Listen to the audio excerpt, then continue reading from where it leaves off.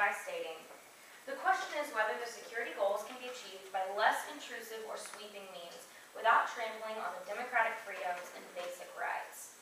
This appears in the middle of the third paragraph of the editorial, and it is a claim of value because it uses words expressing opinion or belief, like less intrusive, as well as emotionally charged phrases like trampling on democratic freedoms. The values in this statement are abstract, the author expresses the importance of values, included, including the right to privacy, freedom, and the constitutional idea of unalienable rights.